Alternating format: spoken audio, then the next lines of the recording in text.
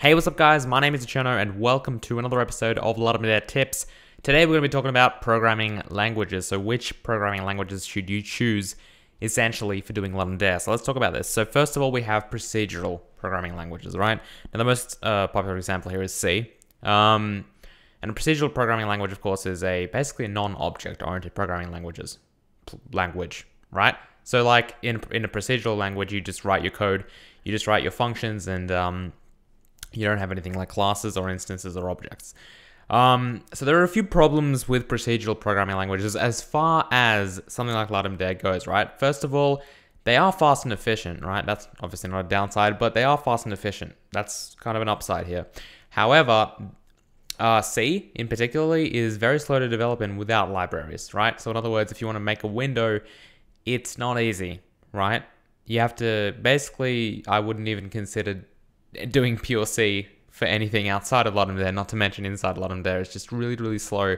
It is basically the definition of writing things from scratch, okay? Ignoring stuff like assembly and freaking binary, whatever. Um, and for masses of code, for example, so obviously if you're making a game, you're going to be coding a lot. That's going to give you a bad time. And the reason is it's really, really hard to organize your code in C, okay? You don't have things like classes. So if you, you don't have like concepts like inheritance, polymorphism, you know, all of that stuff. You don't have any of that. You don't ha- you can't really make like an entity a superclass of we can't do that stuff, right? You have to work around that kind of thing, okay? Um, that is a bit of a problem because it, it makes it really hard to organize your code. And again, if you are trying to make a game in 48 hours, you don't want to really be thinking about, hang on a minute, did I did I do this function already? Is this accessing? Is this accessing another function? My file is really big now. There's like a thousand lines of code in one file. I should split this up. Blah blah blah, etc. All right, it's just hard, really hard to organize.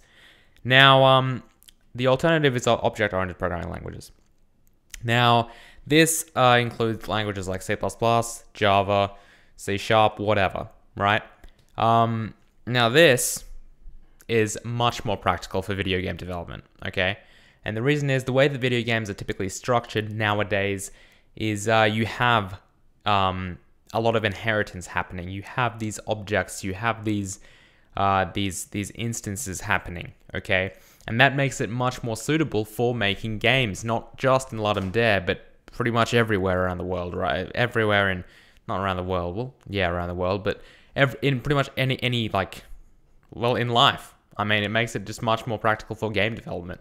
Um, because the way that games are structured, objects are just convenient, very convenient for game development, okay? Um, it is around the same speed as procedural. So if you're wondering about performance issues, you shouldn't be really because um, I mean it is it is it, there there is some difference on some systems. I actually did a massive research report um, about this. Essentially, there's no difference. Okay, it's about the same. Um, now, most of these languages also happen to have suitable libraries, okay? And by that I mean attached libraries as well as access to libraries, okay? So for, for example, right, C++ has libraries for, has, sorry, has classes and, and, um, and objects for strings and for dynamic arrays. C doesn't have any of that stuff, okay? Java has an excellent graphical API, which we'll get onto in a minute. Um, C++ or C doesn't have that stuff. So you have a lot more content, a lot more support for these kind of languages, which is much better. Now, let's talk about C++, okay? Why should you or shouldn't you use C++ in Ludum Dare? Um, first of all, it's a native language, okay? What does that mean? That means that when you run something on your computer, it's going to natively run that, okay? On whether that be Windows, Mac, whatever. It is native, okay? You write code, you compile the code. Once you compile the code, you run your application. That application communicates directly to the CPU, okay? Directly. Um, that's very good for performance, mind you. Now, there are, there are, for C++, there are a solid uh, number of libraries available, including STL, GLFW, SF, SFML, Allegro. I've actually never used SFML or Allegro, but I've heard good things about them. STL is brilliant, so is GLFW. Um, there are a lot of engines available. Irrlicht and Ogre engines are one of the most popular ones. Um, but because of these libraries that are available, you could always make your own engine in a suitable amount of time. I'm talking like maybe like four hours. Okay, you could definitely like I'm talking like sound, uh, everything, maybe even a bit of 3D done in about four hours because of these awesome libraries like STL and GLFW. Okay. um, which is which is great. Okay, so the development time isn't too slow. Now, unfortunately, there's no web browser compatibility natively. I know there are very very slim, little, really kind of slow, not really awesome ways of getting C++ to run in a web browser. I am aware of that, right? But natively, there is no web browser compatibility. Now, that's a problem. That's a bit of a problem to me. And the reason that's a bit of a problem to me is when people are looking at your games in Ludum Dare, right? They want it. They probably like downloading a game isn't going to be, well, it's going to take too much effort. Okay, and you you guys might be like, well, hang on a minute, downloading a game that's you know two clicks away, like that's easy. But no, really, it's not because when I'm voting for games in Ludum Dare, like I do like every time I do it, um, I'm going through like I'm trying to go through as many games as possible, right? I want to I want to rate as many games, I want to play as many games as I can in a short amount of time. When I so what I typically tend to do is basically skip the games that require me to download it. Okay, I want to just be able to click, be taken to a web page, have it load in two seconds, and play the damn game. That's what I want to be able to do. Now, if it's written in C++, I have to download it. I might be missing DLLs. There's all this other stuff happening. Okay, and that's a bit of a problem to me. Okay, so in in order for if if your goal in Ludum Dare again is to finish a game and have people play it then I recommend that you choose a language that supports web browser compatibility, okay, that will run inside a web browser so that people can go to a website and play the game right on that page. C++ unfortunately does not support that. Now there's also not no hot no hot swapping of code. What that means is um, and again, yes, I realize there are ways around that. For example, you could you could write your important values into a file and then simply modify the file, hit Control S, hit something in the game to reload the file and then load those values in. That's very complicated and that will take time to develop. That's a bit of an engine feature that you'll probably have to develop yourself as well. Um, it's very hard. You can't update on the fly, right? In Java, for example, and in C Sharp, you can write you can write a bit of code.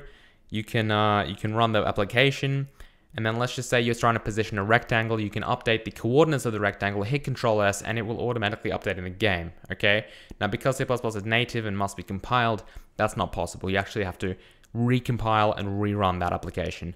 That's gonna take time, okay? And when you have 30 hours of development time, that might be a problem. Now, there are slower compile times. This isn't a huge, this is not a huge issue, okay? I put this in here, but it's not a massive issue, right? Um, I mean, it, it, it certainly is a lot slower to compile C++ uh, in larger scenarios, but if you are using libraries and game engines especially, if you're if you're not writing your own engine but you're using readily available engines, compile times might slow you down, okay? I've, I've seen compile times be up to like 30, 20 to 30 seconds, okay? And that's a problem because, you know, if you're trying to position, a, if you're trying to position your HUD in the right in your heads up display in, in, in the right position on the screen you have to recompile it all the time because there's no hot swapping. That's a problem okay for 30 hours. Um slow to optimize right? To get c++ to actually run fast you need to spend a lot of time doing memory management and other garbage collecting things yourself. Um, C++ is a very is probably the fastest language. Uh, actually, C is probably a bit faster once you optimize it, but C++ is one of the fastest languages available. It's a native language. It's a wonderful language, but to get it to run at its peak, you need to pour hours into it. Okay, and that's a problem in Ludum Dare. Finally, it's slow to develop, right? Because of all these features, no hot swapping, slower compile time, slow to optimize, uh, it's just going to take you longer to make a game, unfortunately. And also, there's no real good inbuilt library, okay? There's you'll have to download something like SDL if you want to get a window and graphics on the screen with relative ease. And that's a bit of a problem again for Ludum Dare because we're trying to be as fast as we can here, honestly. Um, but yeah, I mean, essentially the, the deal here is C++ is going to take you, it's going to take you a while to pump out a game in C++, honestly. Um, I mean, C++ doesn't even have features for loading images or audio, for example, and most of these like SDL SDL, see, even SDL needs external libraries like the like the JPEG and PNG, um, you know, uh, decryption, decompression, whatever libraries as well, which is a bit of a bit of a pain to try and set up and stuff like that. So essentially, C++, as wonderful as it is, and I really do love C++, it's not it's it's going to be slow to develop a game in C++. Now Java, let's move on to Java. So Java runs inside a virtual machine. Okay, so instead of, and I'm not going to talk about this in depth here, but instead of you compiling your code and then running the application and the application communicates directly to the CPU, Java doesn't work that way. Java, you compile your application, you uh, you run your application, the application communicates to the virtual machine, which then communicates to the CPU. Okay, so there's there's like a little uh, there's a little like pit stop on the way, and because of that pit stop, pit stops take time. Okay, it's gonna slow your game down a bit. Now, now, this is really important that you realize this. Without the optimization in C++, Java is faster than C++. Okay, if you don't handle your memory with advanced little algorithms, whatever, if you don't run C++, if you don't pour hours into that and optimize it to, to the max, Java will be faster. Okay, and because we don't have this time, right?